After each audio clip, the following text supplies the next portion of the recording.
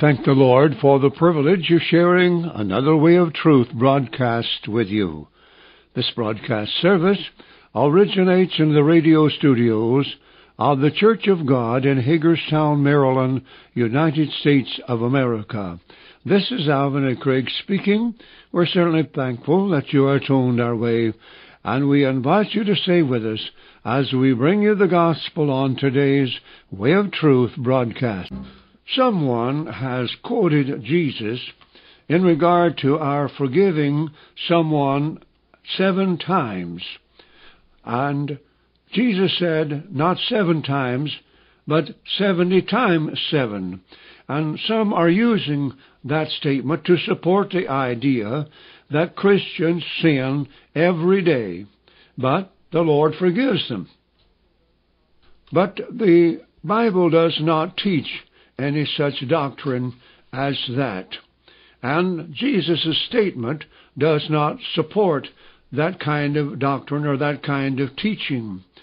So I'd like for you to consider with me the thought of Christians living a life free from sin. After all, the Hebrew writer tells us, without holiness no man shall see the Lord. That's Hebrews chapter 12 and verse 14. Now, I am not saying that Christians are above making mistakes, nor am I saying it is impossible for a Christian to fall away and return to a life of sin. The Bible teaching in regard to sin is that Christians do not commit any known sin. God holds us responsible for what we know, not for what we do not know. Now, the Old Covenant does speak of unknown sin.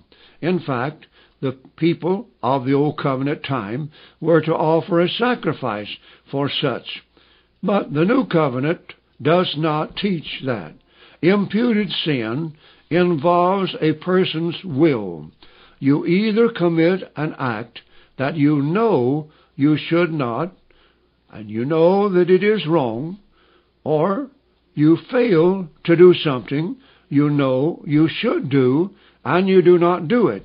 Either way, it involves your will. So whenever we speak about a Christian living a life free from sin, we're talking about him not doing anything that he knows to be wrong that God would not impute it to him if he did it not knowing. Blessed is the man to whom the Lord does not impute sin. And that person is one who is walking in all the light he has, obeying all the truth that he knows. Again, God holds us responsible for what we know, not for what we do not know. So let us start with Adam and Eve. God gave them one command, and if they disobeyed it, God said it would bring death, death to the soul. In other words, they were to live without committing sin. If they sinned, they would die. They would no longer be a child of God. The same is true today. One known sin produces death. The wages of sin is death, so Paul said in Romans 6 and 23. Next, let us look at Moses. He was up on the mount for forty days, and while he was there, the people influenced Aaron to make an idol, and the people began to worship it and to conduct themselves in an ungodly manner. And the Lord told Moses to go down from the mount. And when Moses got close enough to see what was going on, he was made very angry with the people. He broke the two tables of stone where God had written the Ten Commandments. Later, Moses sought the Lord to forgive the people of their sins. And he said, If you would not, then blot my name out of your book. The Lord replied to Moses, Whosoever has sinned against me, him will I blot out of my book. Exodus chapter 32 and 33. Notice those words of the Lord, Whosoever has sinned against me, him will I blot out of my book. You get your name in the Lamb's Book of Life by being born again. And you keep it there by living a sinless life. You knowingly sin and God blots it out. That does not, that does away with the idea, the false doctrine, that once saved, always saved. For if your name is blotted out of the Lamb's Book of Life, you are no longer a child of God. The psalmist said in Psalm 66 and 18, If I regard iniquity in my heart, the Lord will not hear me. We also read in the Scriptures, For the eyes of the Lord are over the righteous, and his ears are open unto their prayers. But the face of the Lord is against them that do evil. Those who commit sin, in other words. For sin is evil, and evil deeds are sin. Isaiah the prophet said, A highway shall be there, a way, and it shall be called the way of holiness. The unclean, that is, the unsaved, shall not pass over it. In other words, the unsaved are not on the highway of holiness because the highway of holiness is for the redeemed. Isaiah said, The redeemed shall walk there. And to be redeemed means you have been saved from your sins. You find these scriptures in Isaiah chapter 35, verses 8 and 9. Ezekiel said, If the wicked restore the pledge, give again that he had robbed, walk in the statutes of life without committing iniquity, he shall surely live, he shall not die. Ezekiel 33:15. Now let us look at what Ezekiel said. If the wicked, if the sinner, restore the pledge, give again that he hath robbed, walk in the statutes of life, and the only way that you can walk in the statutes of life is by being saved, by being converted.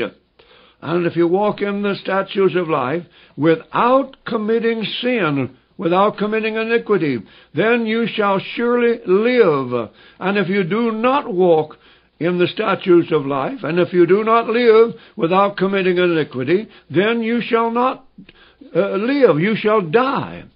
So Ezekiel said, If the wicked restore the pledge, give again that he hath robbed, walk in the statutes of life without committing iniquity, he shall surely live, he shall not die.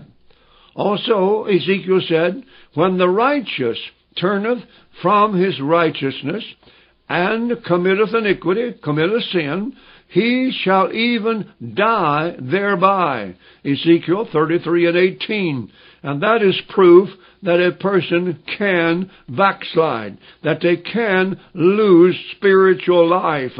When the righteous turneth from his righteousness and committeth iniquity, he shall even die thereby. Ezekiel goes on to tell us that none of his righteousness shall be remembered.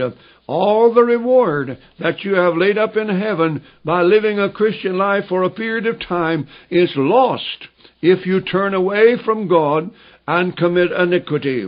None of your righteousness shall be remembered, Ezekiel said. So this is proof that a person can backslide. Now Jesus said, Blessed are the pure in heart, for they shall see God. Matthew chapter 5 and verse 8. You do not have a pure heart if sin is there. Jesus said to the man that he healed at the pool of Bethsaida, Sin no more, lest a worse thing come unto thee. John chapter 5 and verse 14. Jesus did not require something of this man that was impossible. If the man had to sin and he couldn't help himself, Jesus did not do him a favor by healing him. For he was going to bring a worse thing on him than what he had before. So when Jesus told him to go and to sin no more, lest the worst thing come upon him, Jesus was not requiring of him anything that was impossible. Jesus also told the woman that was caught in the act of adultery and brought to him by other men to tempt Jesus, and he told them they that were without sin should cast the first stone, and all of them went out, and Jesus asked the woman, Where are thine accusers? And she said, No man. And he said, Neither do I condemn thee. What he was saying was, he did not condemn her to be stoned to death. He was not putting his approval upon sin. But he did say to her, Go and sin no more. And so he did not require of her anything that was impossible. But he did tell her, Go and sin no more. Jesus also said, Whosoever committeth sin is the servant of sin, and the servant abideth not in the house forever, but the Son abideth ever. If the Son, therefore, shall make you free, you shall be free indeed. John chapter 8, verses 34 through 36. Now, beloved, whenever God, the Son of God, makes you free, He makes you free from sin. And the same power that makes you free from sin is able to keep you from sin. Yes, what the gospel requires, the gospel gives grace to do. Now, Paul asked two questions in Romans chapter 6, and then he answered them with another question. Note what he said. What shall we say then? Shall we continue in sin that grace may abound? God forbid. How shall we that are dead to sin live any longer therein? Romans chapter 6 verses 1 and 2. Paul also said in this sixth chapter of Romans, For sin shall not have dominion over you, for ye are not under the law, but under grace. What then? Shall we sin because we are not under the law, but under grace? God forbid. That's Romans 6 verses 14 and 15. And that is the second time in this chapter that Paul says God forbids us to live in sin. The Apostle John said, Whosoever abideth in him sinneth not. Whosoever abideth in him, that is in Christ, sinneth not. Whosoever sinneth hath not seen him, neither known him. Little children, let no man deceive you. He that doeth righteousness is righteous, even as he is righteous. He that committeth sin is of the devil, for the devil sinneth from the beginning. For this purpose the Son of God was manifested, that he might destroy the works of the devil. Whosoever is born of God doth not commit sin, for his seed, that is his word, remaineth in him, and he cannot sin, because he is born of God. That is, he cannot sin as long as the word of God abides in his heart. The psalmist said, Thy word have I hid in my heart, that I might not sin against thee. John was not saying that it was impossible for a person to sin, but he was saying as long as the Word of God abides in your heart, as long as Christ is ruling your life, you will not commit sin. You will not live in sin. In this, the children of God are manifest, John goes on to say. In this the children of God are manifest, and the children of the devil. Whosoever doeth not righteousness is not of God, neither he that loveth not his brother. 1 John chapter 3 verses 6 through 10. John is saying the way you know the difference between Christians and sinners is that the Christian does not sin and the sinner does. In this, the children of God are manifest, and the children of the devil. Whosoever doeth not righteousness is not of God, neither he that loveth not his brother. 1 John chapter 3 verses 6 through 10 that I have just read. John is saying the way you know the difference, I say, between a Christian and a sinner is the children of God, the Christian, does not sin, and the sinner does. Again, there is nothing in Jesus' instructions for us to forgive someone that sins or does wrong against us and sincerely ask for our forgiveness. How sincere are those who sin every day and supposedly ask God to forgive them. True repentance comes as a result of godly sorrow. Notice what Paul said in 2 Corinthians chapter 7 and verse 10. For godly sorrow worketh repentance to salvation, not to be repented of. But the sorrow of the world worketh death. Jesus taught us, as recorded by Luke, that we must repent or else perish. Do you suppose those that 18 that the tower of Siloam fell on were more wicked than others? Nay, I say unto you, except you repent, you shall all likewise perish. Do you suppose those that Herod mixed their blood in sacrifices uh, with animals? Do you suppose they were more wicked than others? Nay, I say unto you, except you repent, you shall all likewise perish. And the Apostle Peter tells us in Acts chapter 4, Repent therefore and be converted that your sins may be blotted out.